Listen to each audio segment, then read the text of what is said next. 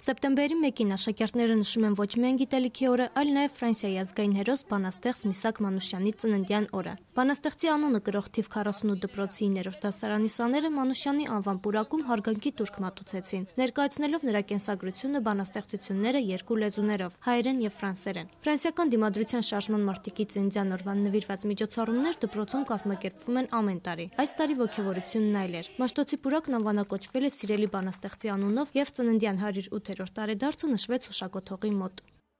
Հպարտայոքի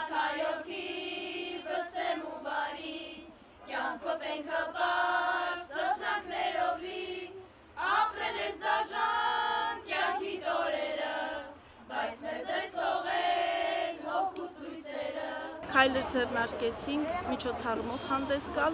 եւ քան որ այսօր Միսակ Մանուշյանի ծննդյան օրն է,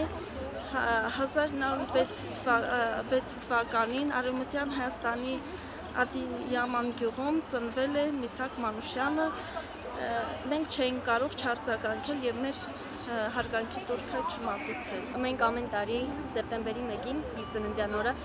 պատրաստ ենք գալ այստեղ կանգնել եւ ներկայացնել իր սխրանքներով իր կյանքը որպեսի մարդիկ իմանան թե ով է եղել Միսակ Մանուշյանը